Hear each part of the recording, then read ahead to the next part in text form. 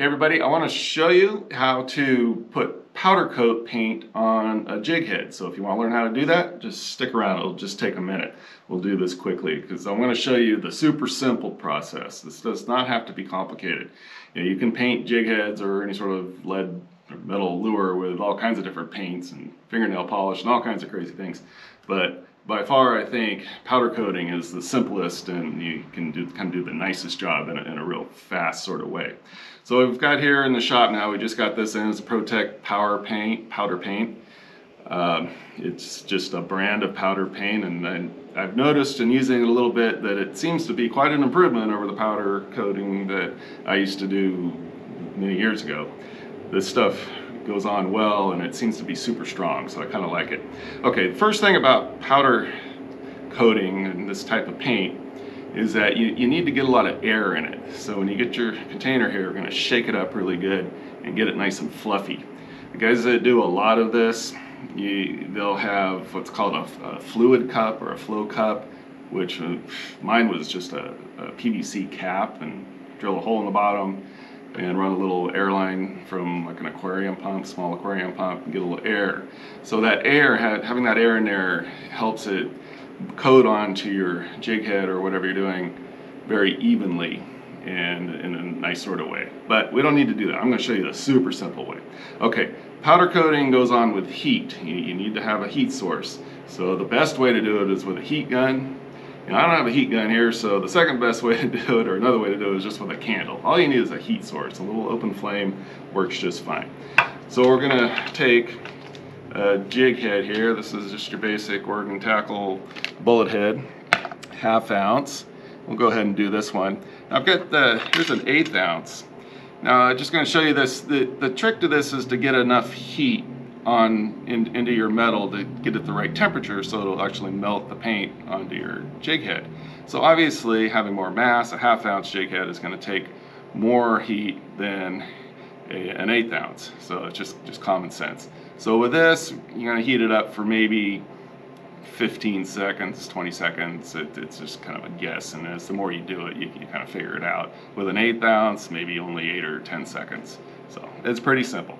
Now, most guys that do this are just going to use their fingers, but since I'm doing this for public viewing, I'm going to go ahead and use, you know, safety first. So this works well. I like these because they, they close down and, and, you know, they don't fall off. You can just use needle nose, you can use whatever, but that, that's all there is to it. All right, now the only trick, I guess, or anything that, that I don't want to do here is hold it straight over the flame and get that black soot onto the lure because I think that's going to impede the, the coating from sticking to it, you know. So I'll hold it off to the side a little bit. I don't want it to smoke. I'm just going to rotate that around, give it a good 15, 20 seconds or so and heat that up really good. Now if I was going to do a lot of this, I wouldn't be doing it here in the shop. I'd be in my garage with the doors open, a little ventilation. it's not bad when you're working with paint and lead, right?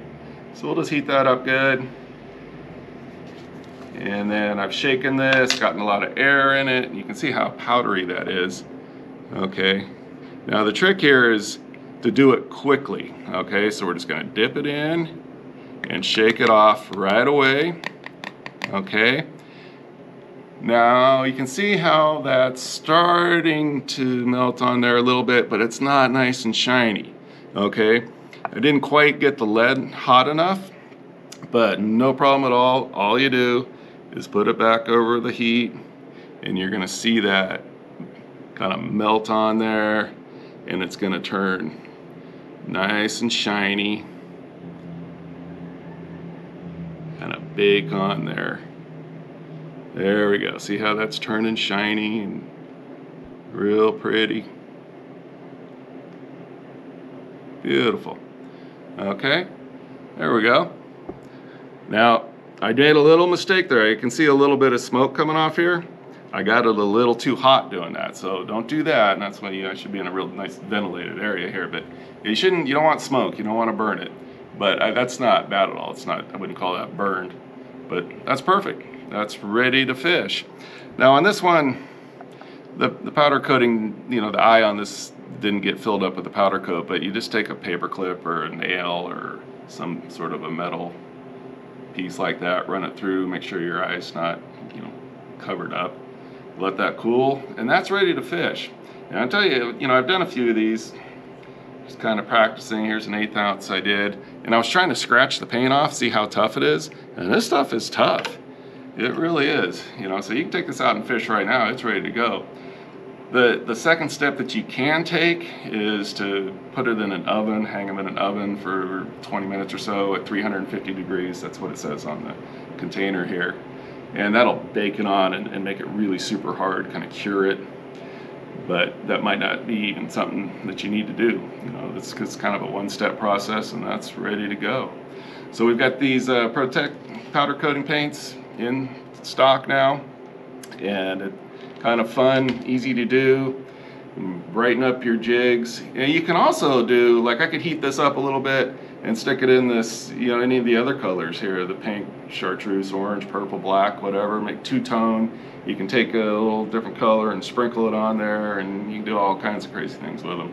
Another thing you can do, I've seen a lot of guys do this, is your, your cannonball weights, okay, you can color code them. You do all your two ounce green, all your four ounce red, and, and, so forth, whatever. And that makes it easy, especially if you have a lot of people on your boat and they're not so familiar with fishing. You can tell them, you know, instead of grab the two ounce or grab the four ounce, say grab the red one or the green one. That's a lot easier. And some people will tell you too that if you powder coat them, they don't make as much noise on the bottom. They, they like the way they, they drift along the bottom better and less noisy and maybe get hung up less. You know, I'm not sure about that and also maybe they bang against your boat they don't do as much damage i don't know but but powder coating your lead weights definitely an option and, and makes things kind of simple so you can come on here in the store in woodland washington check them out We've got them online and uh, i think you'll have some fun powder coating some lures so get at it and be sure to subscribe